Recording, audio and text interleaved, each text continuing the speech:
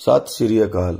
ਇਹ ਹੈ ਜੀ ਮੇਰਾ ਪੰਜਵਾਂ vlog this is my 5th vlog ਇਹਦੇ ਵਿੱਚ ਮੈਂ ਬਾਲ ਥਰੋਸ ਬਾਰੇ ਦੱਸੂਗਾ ਕਿ what is importance of ball throw ਜਿਵੇਂ ਕਿ ball throw like javelin 800 gram ਦੀ ਹੁੰਦੀ ਹੈ ਬਾਲ ਥਰੋ ਅਸੀਂ ਕਰ ਲੈਨੇ ਆ 400 ਗ੍ਰਾਮ ਤੋਂ ਸ਼ੁਰੂ ਕਰੀਦੀ ਹੈ 400 600 800 1 kg 1200 ਗ੍ਰਾਮ।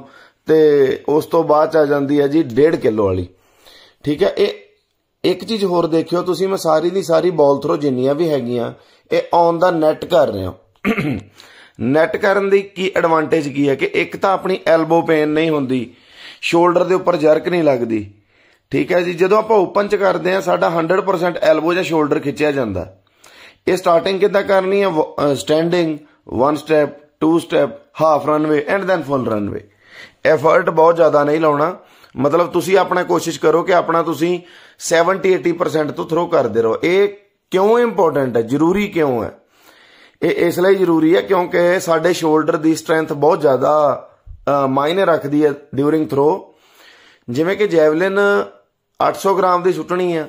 ਤੁਸੀਂ 1.5 ਕਿਲੋ ਤੱਕ ਥਰੋ ਕਰੋਗੇ, ਫਿਰ ਤੁਹਾਨੂੰ 800 ਗ੍ਰਾਮ ਬਹੁਤ ਈਜ਼ੀ ਲੱਗੂਗਾ। ਫॉर ਯੂਅਰ ਸ਼ੋਲਡਰ ਸਟਰੈਂਥ ਇਹ ਬਹੁਤ ਵਧੀਆ, ਇਸ ਲਈ ਕੀਤੀ ਜਾਂਦੀ ਹੈ। ਸਤਿ ਸ੍ਰੀ ਅਕਾਲ।